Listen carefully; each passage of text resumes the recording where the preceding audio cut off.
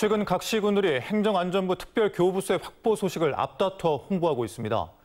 그런데 무소속 단체장이 이끄는 전남 일부 시군에서 하고 싶은 이야기는 특별교부세 액수가 아닌 다른 곳에 있는 모양새입니다. 양현승 기자입니다.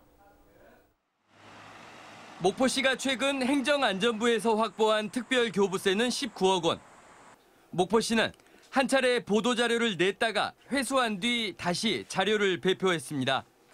특별 교부세 확보를 위해 국민의힘 조수진 의원을 만나 사전 협의하고 이상민 행정안전부 장관을 만났다는 내용이 추가됐습니다. 조수진 의원의 목포 방문 시 국비 소요 사업에 대해 건의한 바 있고 이어서 행정안전부 장관께 목포 발전을 위한 국비 예산을 건의했습니다. 마찬가지로 무소속 시장 군수가 있는 순천과 영광도 미묘한 분위기입니다.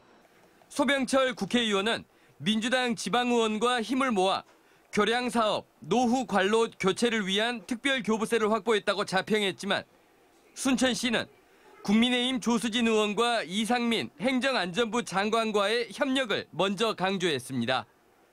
영광군도 특별 교부세 확보 소식을 알리며 국민의힘 조수진 국회의원의 이름을 명시했습니다.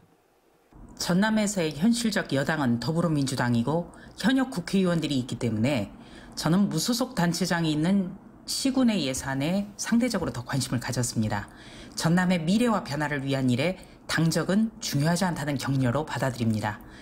특별교부세는 중앙정부가 자치단체의 재정 균형을 위해 행안부 장관이 직권으로 편성하는 예산으로 흔히 국회의원들은 성과로 앞세우는 돈입니다.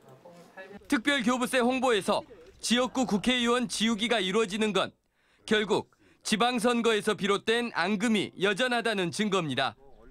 국회의원과 자치단체장이 껄끄러운 지역들의 다음 총선 판세가 복잡해지는 건 당연한 수순입니다. MBC 뉴스 양현승입니다.